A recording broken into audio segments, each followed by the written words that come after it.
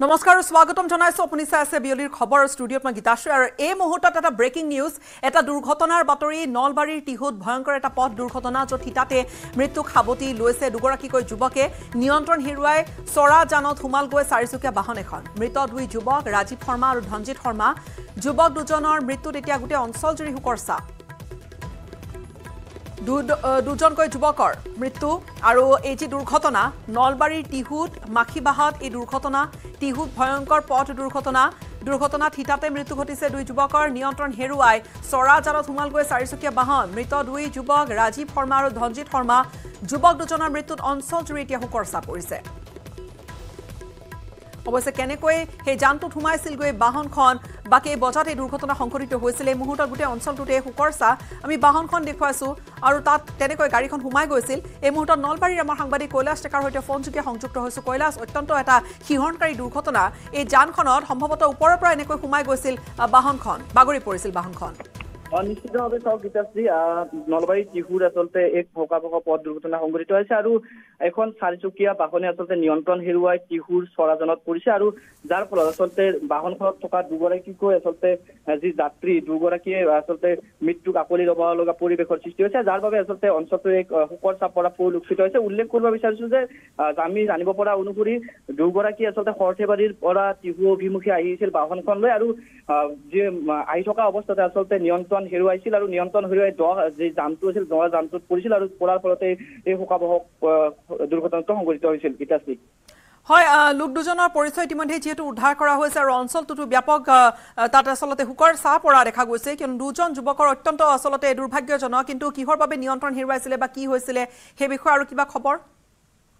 নিশ্চিতভাৱে চাওক আমি যিখিনি তথ্য জানিব পৰা অনুসৰি যি সময়ত সেই ঘটনাটো সংঘটিত হৈছিল জানিব পৰা অনুসৰি প্ৰত্যক্ষদৰ্শীয়ে জনোৱা অনুসৰি যে পচন্দ আচলতে জোৰত অহা বুলি জানিব পৰা গৈছে আৰু তীব্ৰ বেগত অহা গাড়ীখনে আচলতে হঠাতে নিয়ন্ত্ৰণ হেৰুৱাই সেই ঘটনাটো সংঘটিত হোৱা বুলি প্ৰত্যক্ষদৰ্শীয়ে জনাইছে। কিন্তু এই ঘটনাটো আচলতে যদিও প্ৰত্যক্ষদৰ্শীয়ে জনাইছে এই ঘটনা আৰু কিবা যদিও পৰৱৰ্তী সময়ত হয়তো যিহেতু দুটা যথেষ্ট আছিল বুলি কৈছে আৰু নিয়ন্ত্ৰণ হেৰুৱাই সেই চৰা যানত সোমাই পৰিছিল এই গাড়ীখন। এখন দুজন আৰোহী আছিলে ৰাজীৱ শৰ্মা নামৰ এগৰাকীৰ মৃত্যু ঘটিছে আৰু এই ঘটনাটোত আৰু এগৰাকী ধনজিৎ শৰ্মাও নিহত হৈছে। বিদায় লৈছোঁ আপোনাৰ পৰা ধন্যবাদ। কৈলাশ।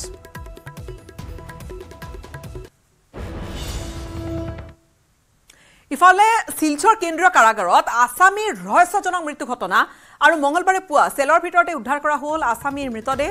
বিচাৰাধীন আছামীয়ে আত্মহনন কৰা সন্দেহ কৰা হৈছে। কিছুদিন পূৰ্বে এটা অপৰাধৰ গোচৰত কাছাৰৰ কচুদাৰম আৰক্ষীয়ে গ্ৰেপ্তাৰ কৰিছিলে আছামীজনক আদালতৰ নিৰ্দেশৰ পিছতে কচুদাৰম আৰক্ষীয়ে নিক্ষেপ কৰিছিল শিলচৰ কেন্দ্ৰীয় কাৰাগাৰলৈ।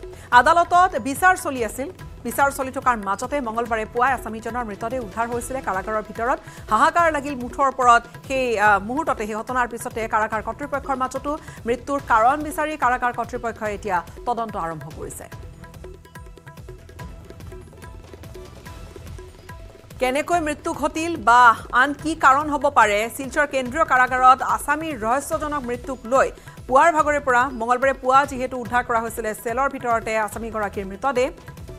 বিচাৰাধীন হৈ আছিল গোটেই বিষয়টো। তেওঁ যি গোচৰত আছামী হৈ আছিলে বা কাৰাগাৰত থাকিবলগীয়া হৈছিলে কিন্তু কি কাৰণ আছিলে এতিয়ালৈকে পোহৰলৈ অহা নাই তদন্ত অব্যাহত আছে। ফোনযোগে সংযুক্ত হৈছোঁ আমাৰ শিলচৰ সাংবাদিক অনিৰুদ্ধ লস্কৰৰ সৈতে। অনিৰুদ্ধ আছামীজনৰ যি মৃত্যুৰ খবৰ কেনেকৈ আচলতে তেওঁ ক'ব কি অৱস্থাত তেওঁক উদ্ধাৰ কৰা হৈছিলে বা কি কয় কৰ্তৃপক্ষই? গীতাশ্ৰী আজি ৰাতিপুৱা শিলচৰ চেণ্ট্ৰেল জেল এঘাৰটা দহ বজাত সি জেইলৰ এটা ঠাইত গৈ গামোচা দি গামোচা দি লগাই নিজক ডিঙিটো ইয়ে কৰি লৈছে। এইটো ঘটনাৰ পিছত তাৰ যিমানখিনি পৰিয়ালৰ মানুহ আহিছিলে আমিও তেতিয়া জেইলৰ বাহিৰতে আছিলো। তো তেতিয়া সুধিছিলো কি ঘটনাৰ কাৰণে এই জেইলত আছে? তেতিয়া কৈছে তিনি মাহ আগতে তাক ইয়াতে জেইলত কচুতৰম থানাৰ পৰা তাক এৰেষ্ট কৰা হৈছিলে এটা ৰেপৰ চাৰ্জত। কিন্তু সি সেইবিলাকৰ কথা সি সেই ছোৱালীজনীকে চিনি পায় প্ৰেমৰ এটা ইয়ে চলাত আছিলে। কিন্তু ঘৰৰ মানুহে ছোৱালীজনীৰ ঘৰৰ মানুহে ৰেপৰ চাৰ্জত দি তাক ভিতৰত জেলত সোমাই দিছে। তিনি মাহৰ পৰা বহুতবাৰ বেইল পিটিশ্যন তিনি দুই তিনিবাৰ বেইল পিটিশ্যনৰ এপ্লাই কৰিছিলে যদিও তাক বেইল পোৱা নাই। যিটোৰ কাৰণে তিনি চাৰিদিন আগত পৰিয়ালৰ মানুহ মিলিছে তেতিয়া কৈছিলে সি ঠিক আছিলে কিন্তু আজি এনেকুৱা কিয় ঘটনা ঘটিল এইটো সেইবিলাকে এতিয়াও ক'ব পৰা নাই। গীতাশ্ৰী হয় ধন্যবাদ জ্ঞাপন কৰিছোঁ অনিৰুদ্ধ। মাক এইখিনি আপডেট আপুনি জনালে ঘটনাটোৰ পিছতে কিন্তু কাৰাগাৰৰ ভিতৰত যিহেতু এগৰাকী লোকৰ মৃত্যু ঘটিছে বা চৰমপন্থা বাছি লৈছে বুলি জনা গৈছে এই বিষয়টোৱে কিন্তু গোটেই কৰ্তৃপক্ষক এই মুহূৰ্তত বহু প্ৰশ্নৰ সন্মুখীন কৰোৱাইছে যে কেনেকৈ ঘটনা ঘটিল বা কি হৈছিল প্ৰকৃতাৰ্থত।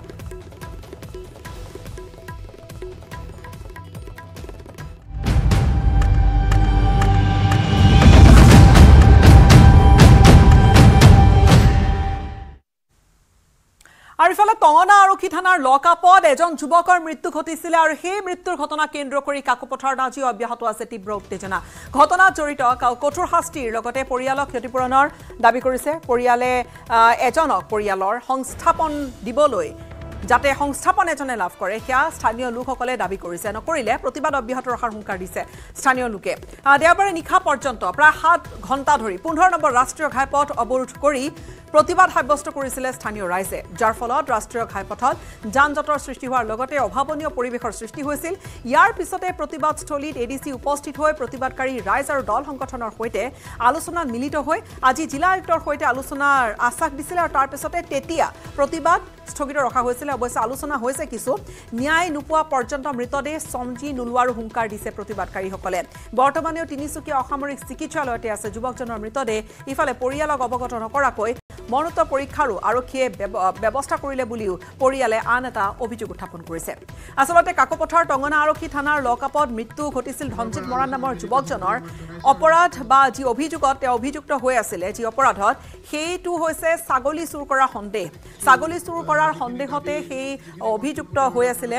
আৰক্ষীয়ে আটক কৰিছিলে টঙনা মাজগাঁৱৰ আহ, ধনজিৎ মৰাণক আৰু তাৰ পিছৰে পৰা। আৰক্ষীৰ মাৰপিটত যুৱকজনে মৃত্যু সাবটি লোৱা বুলি আৰক্ষীয়ে তাৰ পিছতে আত্মহত্যাৰ ৰূপ দিয়া বুলি এটা অভিযোগ সন্দেহ কৰিছে স্থানীয় লোকসকলে। আৰু ঠিক সেই তেতিয়াৰে পৰা এটা প্ৰতিক্ৰিয়া এটা সৃষ্টি হৈ আছে। এই ঘটনাৰ পিছতে টঙনা আৰক্ষী থানাৰ ভাৰপ্ৰাপ্ত বিষয়া আৰক্ষীৰ বিষয়া খগেন বৰা আৰু কনিষ্টবল চিত্তৰঞ্জন বৰুৱাক নিলম্বন কৰা বুলি জানিবলৈ পৰা গৈছে। আৰু এয়া প্ৰতিবাদী ধ্বনি আহ, কাৰ্যসূচী অৱশ্যে তাত পিছত প্ৰশাসন উপস্থিত হৈ কিছু আশ্বাস দিছিলে বৈঠকৰ তাৰপিছত সেই প্ৰতিবাদ হাম কাটিছিল ঠিকেই। কিন্তু লক আপত যুৱকজনৰ মৃত্যু ঘটিল কেনেকৈ? কি হৈছিল ন্যায় নোপোৱালৈকে মৃতদেহ চমজি নোলোৱাৰ হুংকাৰো দিছে প্ৰতিবাদকাৰীসকলে। প্ৰতিবাদকাৰীসকলৰ এটা দাবী যে দোষীয়ে উচিত শাস্তি পাব লাগে আৰু সমান্তৰালকৈ পৰিয়ালক অৱগত মৰুত পৰীক্ষাৰ বাবে কিয় নকৰিলে? এই বিষয়টোক লৈও কিন্তু প্ৰতিক্ৰিয়া দিছে। এজন পৰিয়ালৰ লোকত সংস্থাপন দিব লাগে বুলিও কৈছে। এইসকল প্ৰতিবাদকাৰীয়ে। এ ডি চিৰ আশ্বাসত আচলতে সাময়িকভাৱে স্থগিত ৰখা হৈছিলে তেতিয়া প্ৰতিবাদ যেতিয়া টঙনা থানাত কিন্তু উত্তপ্তও হৈ পৰিছিল গোটেই পৰিস্থিতি। পৰিয়ালক অৱগত নকৰাকৈ মৰণোত্তৰ পৰীক্ষা কৰি দিয়াৰো অভিযোগ পৰিয়ালে আনিছে যে তেওঁলোকক খবৰেই দিয়া নহ'ল। টঙনা থানাৰ লকআপৰ ভিতৰত মৃত্যু ঘটিছিল ধনজিৎ মৰাণৰ। কিন্তু লকআপৰ ভিতৰত কিন্তু কেনেকৈ মৃত্যু ঘটিবলৈ পালে? এইবোৰ বিষয়ক লৈ বহু প্ৰশ্ন স্থানীয় লোকে ৰাজপথত বহি এই ধৰণে প্ৰতিবাদ তেওঁলোকে কৰিছিল। ছাগলী চুৰি কৰাৰ এটা অভিযোগ আছিলে ধনজিৎ মৰাণৰ বিৰুদ্ধে। কিন্তু সেই গোটেই ঘটনাটো সোধা পোছা বা যিয়েই নহওক কিন্তু কেনেকৈ মৃত্যু ঘটিল এই বিষয়টোক লৈ এই গোটেই পৰিয়াল তাত ৰাইজ এই ধৰণে ওলাই আৰক্ষীক জবাবদিহি কৰিছে। কেনেকৈ তেওঁ সেই মানুহজনে যুৱকজনে কিন্তু লকআপৰ ভিতৰত কোনো ফেন নাই কোনো ৰছী নাই এটা চাৰ্ট বা টি চাৰ্টত কেনেকৈ তেওঁ আত্মহত্যা কৰি ঘটনা সংঘটিত কৰিব পাৰিলে। সেইটোতে আমি সন্দেহ প্ৰকাশ কৰিছোঁ আমি ৰহস্যজনক ইয়াত আমি স্থিতি আমাৰ ভূমিকা আমি দেখিবলৈ পাইছোঁ। মই অসমৰ মুখ্যমন্ত্ৰী আৰক্ষী অঞ্চলক প্ৰধানক দাবী জনাইছো যে গোটেই ঘটনাটো এটা ন্যায়িক তদন্তৰ প্ৰয়োজন আছে। দণ্ডাধীশ পৰ্যায়ৰ তদন্তৰে ইয়াৰ সত্য উদ্ভাৱন কৰাটো সম্ভৱপৰ নহ'ব। গতিকে ন্যায়িক তদন্তৰ প্ৰয়োজন আছে ন্যায়িক তদন্ত ঘোষণা কৰক। এজনৰ মৃত্যু ঘটিছে। এজন অভিযুক্তৰ মৃত্যু ঘটিছে। টঙনা আৰক্ষী থানাৰ ভাৰপ্ৰাপ্ত আৰক্ষী বিষয়া খগেন বৰা আৰু কনিষ্টবল চিত্ৰৰঞ্জন বৰুৱাক নিলম্বন কৰাৰ বাতৰি আহিছে। কিন্তু এই মুহূৰ্তত আচলতে পৰিয়ালে কি বিচাৰিব বা কি ধৰণে তেওঁলোকৰ আলোচনা হৈছে? পৰিয়ালক এজনৰ সংস্থাপন বিচাৰিছে। স্থানীয় লোকসকলে তেওঁলোকে ৰাজপথত বহি প্ৰতিবাদ কৰিছে। এক বিস্তৃত ৰিপৰ্ট আগবঢ়াইছোঁ আমাৰ সাংবাদিক ৰীণা কাকতি গগৈৰ। আৰু এই যি ঘটনাক কেন্দ্ৰ কৰি প্ৰায় দুদিন ধৰি উত্তেজনাই বিৰাজ কৰি থকাৰ লগতে যোৱাকালি যিহেতু এই কাকপথাৰ পোন্ধৰ নং ৰাষ্ট্ৰীয় ঘাইপথ প্ৰায় আঠ ঘণ্টা ধৰি অৱৰোধ কৰিছিল স্থানীয় দল সংগঠন লগতে স্থানীয় ৰাইজসকলে। কিন্তু দেখা গৈছে তাৰ পিছতে যিহেতু তিনিচুকীয়া জিলাৰ এ ডি চি উক্ত স্থানত উপস্থিত হয় তেওঁলোকক যিহেতু এখন পত্ৰৰ আশ্বাস প্ৰদান কৰিছিল কিয়নো আজি প্ৰায় দিনৰ একমান বজাত তিনিচুকীয়া জিলাৰ উপায়ুক্তৰ কাৰ্যালয়ত এখন বৈঠক অনুষ্ঠিত কৰিব আৰু সেই বৈঠকত উচিত সিদ্ধান্ত গ্ৰহণ কৰিব। কিন্তু স্থানীয় ৰাইজ আৰু দল সংগঠনসমূহে এই ধনজিত মৰাণৰ মৃত্যুৰ ঘটনা সহজে ল'ব পৰা নাই। কিয়নো তেওঁৰ এই যি মৃত্যু এই মৃত্যুৰ উচিত তদন্তৰ লগতে দোষী শাস্তি প্ৰদান কৰা আৰু তেওঁলোকে যিহেতু এককালীন সাহায্য তেওঁলোকে দাবী কৰিছে কিন্তু এই দাবী মানি নোলোৱা পৰ্যন্ত এনেদৰে প্ৰতিবাদমুখৰ হৈ পৰিব বুলি যিহেতু দল সংগঠনসমূহে জানিবলৈ দিছে। আৰু ইতিমধ্যে জানিব পৰা অনুসৰি টংগনা আৰক্ষী থানা লকাপত যেতিয়াই ধনজিত মানৰ মৃত্যু হৈছিল তাৰ পিছত এক উত্তপ্ত পৰিস্থিতিৰ সৃষ্টি হৈছিল। আৰক্ষী থানা ঘেৰাও কৰিছিল স্থানীয় ৰাইজে। আৰু সেইদিনাই দেখা গৈছে তিনিচুকীয়া জিলাৰ যিহেতু এছ পি এফ যে সেই যি টংগনা আৰক্ষী থানাৰ আৰক্ষী বিষয়া যিটো খগেন বৰা লগতে তাত থকা কনিষ্টবল যিটো তিলেশ্বৰ বৰুৱা বুলি আমি জানিব পাৰিছো তেওঁ দুইজনক যিহেতু নিলম্বন কৰিছে আৰু ইতিমধ্যে এই যি ঘটনা এই ঘটনা এক উত্তপ্ত পৰিস্থিতিলৈ বিৰাজ কৰিছে। কিয়নো ইতিমধ্যে দেখা গৈছে এই যি ঘটনাৰ পিছত আজি এক বৈঠক অনুষ্ঠিত কৰাৰ কথা আছে আৰু এই বৈঠকত যদি তেওঁলোকে বিচৰা দাবীসমূহ পূৰণ নহয় তেওঁ আগন্তুক দিনত তেওঁলোকৰ এই যি প্ৰতিবাদ এই প্ৰতিবাদ অব্যাহত থাকিব। কিন্তু বৰ্তমানে তেওঁলোকৰ এই প্ৰতিবাদসমূহ সাময়িকভাৱে স্থগিত কৰি ৰখা হৈছে বুলি জানিব পৰা গৈছে। কিন্তু আজি যদি এই বৈঠকত তেওঁলোকৰ বিচৰা দাবীসমূহ যদি পূৰণ নহয় তেওঁ আগন্তুক দিনত তেওঁলোকে ভয়ংকৰ আন্দোলনৰ ৰূপ ল'ব বুলি যিহেতু সকীয়াই দিছে দল সংগঠন লগতে স্থানীয় সচেতন ৰাইজে।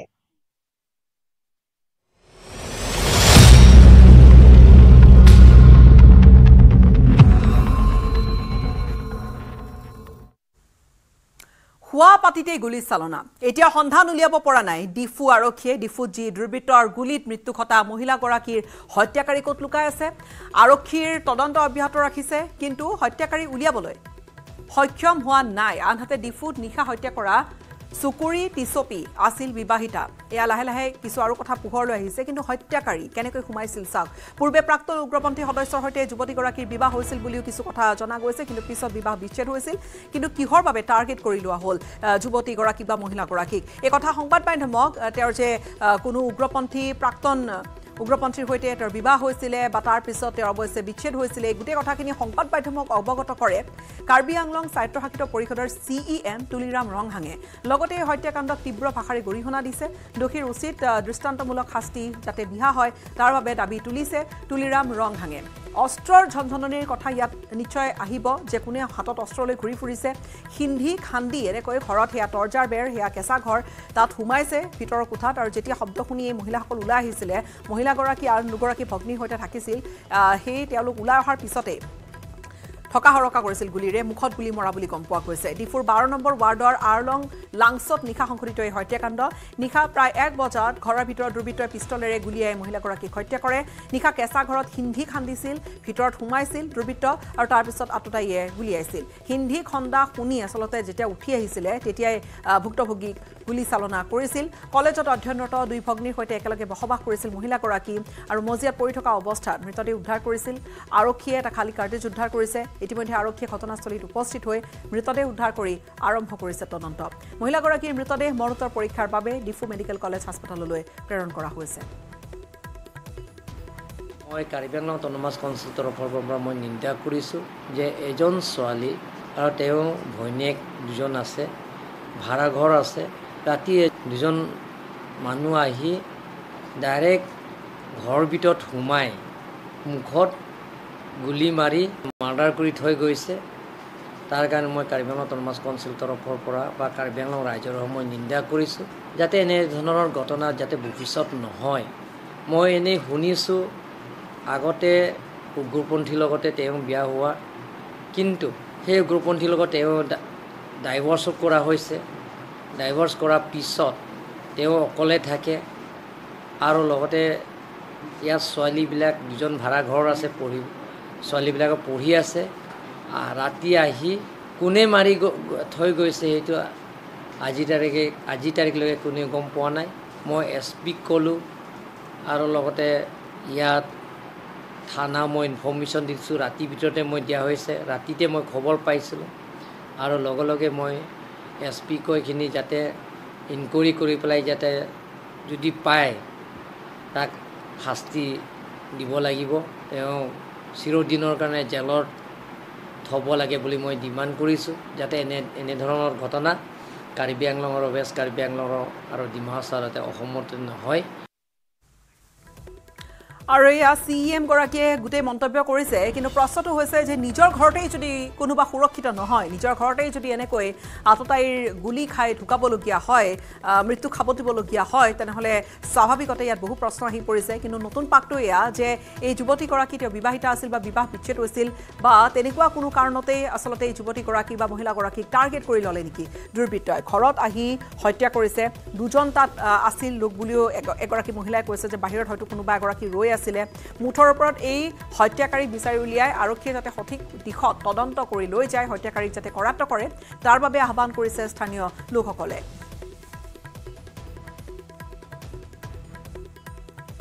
বিবাহ বিচ্ছেদ হৈ ঘৰতে আছিল মহিলাগৰাকী। বিবাহ বিচ্ছেদ হৈছিলে। পূৰ্বতে প্ৰাক্তন উগ্ৰপন্থীৰ সৈতে বিবাহ পাশত আবদ্ধ হৈছিলে তেইছ বছৰীয়া মহিলাগৰাকী। আৰু সংবাদ মাধ্যমক জনাইছে এই বিষয়ে চি এম তুলিৰাম ৰংহাঙে। দুই ভগ্নীৰ সৈতে ঘৰটোত একেলগে থাকিছিল কেঁচা ঘৰ হিন্ধি খান্দি এই ঘৰটোত প্ৰৱেশ কৰিছিল। ডিফুৰ বাৰ নম্বৰ ৱাৰ্ডৰ আৰলং লাংছৰ এই ঘটনাটোৰ পিছতে কিন্তু প্ৰশ্ন বহুকেইটা উত্থাপন হৈছে। ইয়াত কিবা প্ৰেমজনিত কাৰণ থাকিব পাৰে নেকি? টাৰ্গেট কিহৰ বাবে কৰি লোৱা হ'ল মহিলাগৰাকী? বহুতে সন্দেহ কৰিছে ইয়াত হয়তো প্ৰেমজনিত কাৰণ নিহিত হৈ থাকিব পাৰে আঁৰত। কিন্তু সেই বুলিয়েই ঘৰত সোমাই এই ধৰণে হত্যাকাণ্ড। আচলতে গোটেই ঘটনাটো সহজভাৱে একেবাৰে লোৱা নাই। পৰিয়ালেই কওক বা ওচৰ চুবুৰীয়াই কওক মজিয়াত পৰি আছিল মৃতদেহ। মুখত গুলী মাৰিছিল বা গুলী বিদ্ধ কৰিছিলে আততায়ীয়ে ঘৰৰ ভিতৰতে উদ্ধাৰ কৰা হৈছে পিষ্টলৰ খালী কাৰ্টেজ। ৰাতি মানে এই এৰাউণ্ড ওৱান এ এম এনেকুৱা আৰু। হেৰি সৰুজনী এই ভাগিন দুটাটো এক্সাম চলি আছে। তেখেত পঢ়ি আছে সেইকাৰণে এট এৰাউণ্ড টুৱেল্ভ থাৰ্টি আৰু। এক্সাম হ'লেওতো মানে এনেও দেৰিকৈ শুব পঢ়িব লাগে। তেওঁলোকে মানে টুৱেল্ভ থাৰ্টি হৈ আছে তেতিয়া। টুৱেল্ভ থাৰ্টি হৈছে এইটো বেক চাইড বেৰটো যেতিয়া মানে পুতিছে আৰু মাটিটো মাটি পুতি মানে আহি গ'ল। ভিতৰত তাৰপিছত এই যোনটো মানে ডিচিজ বডি সেইজনীটো মানে কি হ'ল? এই কোনোবা আহিছে নেকি বুলি সেনেকৈ দেখা পাইছে আৰু। তাৰ অভিয়াছলি দেখা পাব। বাহিৰত যোনটো লাইট আছে এইবিলাকতো জ্বলি আছে শ্বেড'টো দেখা পায়।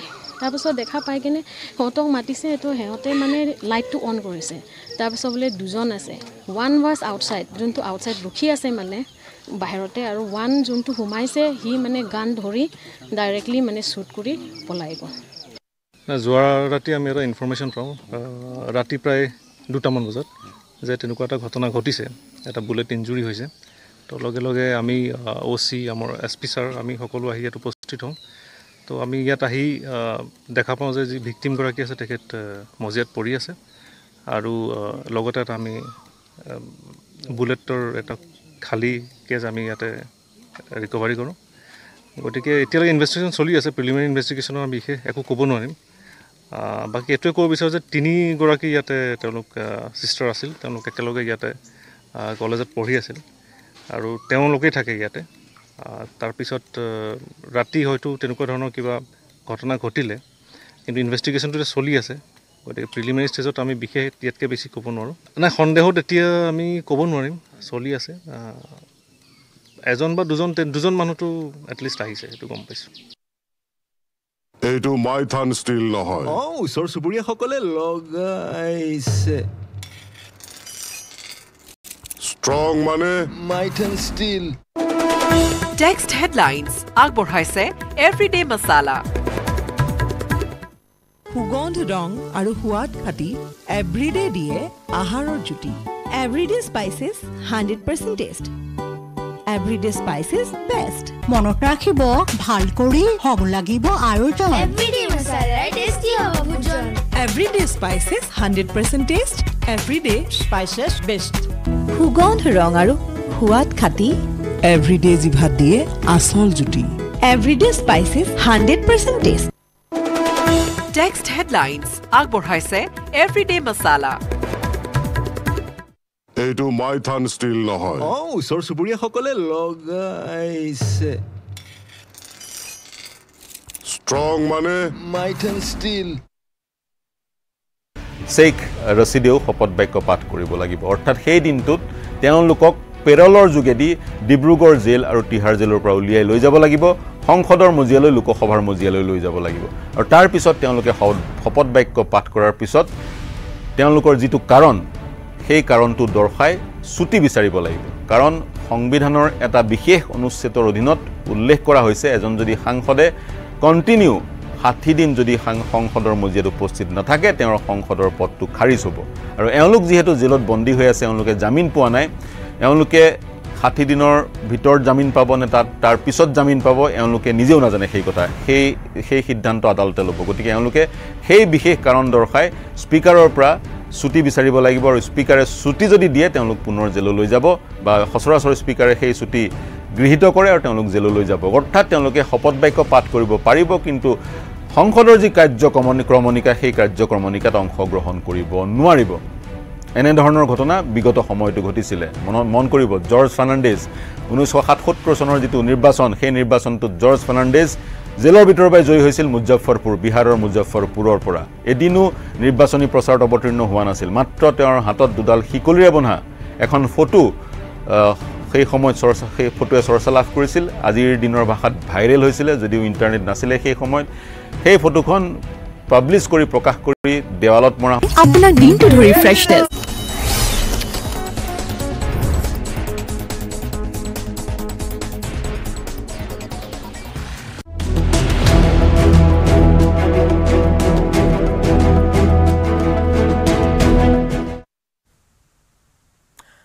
শক্তি বিভাগৰ গাফিলতিৰ বাবে মৃত্যু ঘটা জিতু হাজৰিকাৰ ঘৰত শোকাকুল পৰিৱেশ এতিয়া।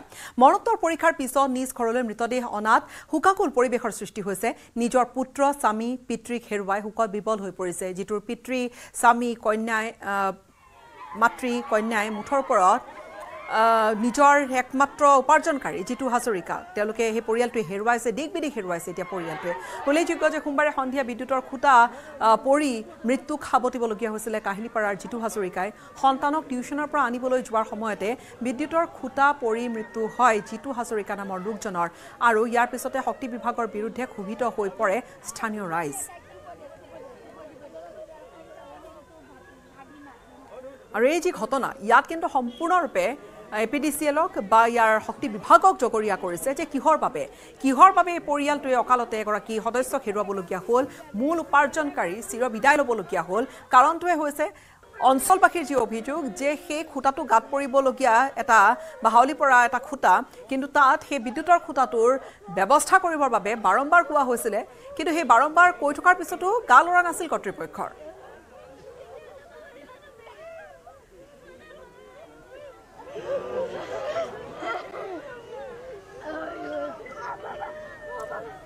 হাই শক্তি বিভাগ আৰু কেইটা এই ধৰণৰ ঘটনা। মৰণ ফাণ্ড শক্তি বিভাগৰ।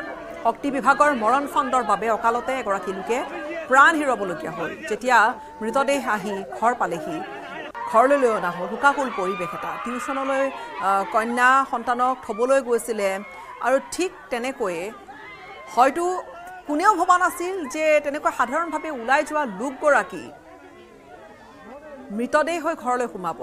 কাৰণটোৱে হৈছে যে ঘৰৰ সন্মুখতে সেই বিদ্যুতৰ খুঁটা গাত পৰি লোকগৰাকীৰ মৃত্যু ঘটিছিল। বিদ্যুতৰ খুঁটা পৰি এজনৰ মৃত্যু কিন্তু কিহৰ বাবে সেই হাউলি পৰা বা তাত স্থানীয় লোকসকলে জনোৱা মতে তেওঁলোকে যি বিভাগক সংশ্লিষ্ট কৰ্তৃপক্ষক তেওঁলোকে বহুবাৰ কৈছে কিন্তু তাৰ পিছতো যেন কাৰোৱে গা লৰা নাছিলে। আৰু এতিয়া এগৰাকী লোকৰ প্ৰাণহানি হ'ল।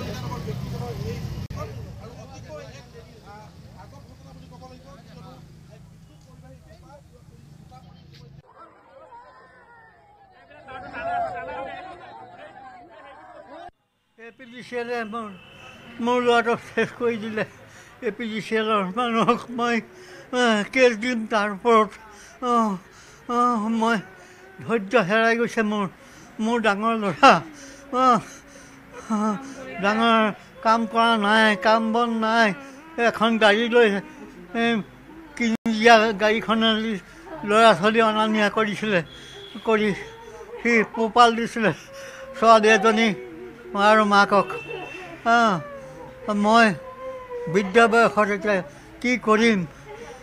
চৰকাৰে যদি মোক অকণমান সহায় কৰে মই বৰ সুখী হ'ম। বৰ এয়ে মোৰ আপোনালোকৰ ওচৰত প্ৰাৰ্থনা প্ৰভু।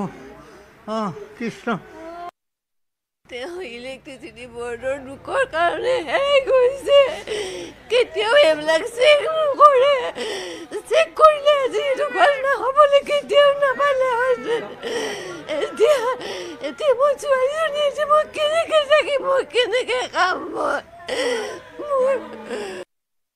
সদায় মামীক আৰু ছোৱালীটোক আনেগৈ। আইতাক কৈছিলে যে ৰুমৰ লাইটকেইটা জ্বলাই থৈ যাবি জ্বলাবি মা মই আহি আছোঁ। তাতে ককাক কৈছে মেইন গেটখন খুলি থৈ দে মই আহি আছোঁ সিহঁতক লৈ পিনি। লাইটৰ পষ্টে গোটেইখিনি গাত পৰি চট পটাই আছিল বোলে। তেতিয়ালৈ আমি গমেই নাপাওঁ ঘৰৰ মানুহ কোনো গম নাপায় কোনোবাই কৈছে এনেকৈ এনেকৈ জ্বলিছে বুলি। মোৰ সৰু মামীজনী দৌৰা দৌৰি গ'ল। তাৰপিছত হয় মামাই হয় মোৰ। বহুত আশা আছিল। বহুত আশা আছিল ছোৱালীটোৰ প্ৰতি বহুত আশা। তাই গাভৰু হ'ব টাইম হৈছে সেয়াও আশা আছিলে। কৈছিলে মামু বিয়া পাতিম। ইমান স্থানীয় সেইখিনিত বহুত এক্সিডেণ্ট হৈ থাকে লাইটৰ বস্তুত। চাবতো লাগে চৰকাৰে কওক। টাৰ্ণিঙো হয় সেইটো। টাৰ্ণিং হয় বহুত হয়। আজিও বোলে ৰাতিপুৱা আহিছে সেই পষ্টটোতে ডাম্পাৰ এখন গৈছে। কিবা সহায় দিয়ক। মোৰ মামীক আৰু ছোৱালীটো আছে। মাইথান ষ্টীল নহয়।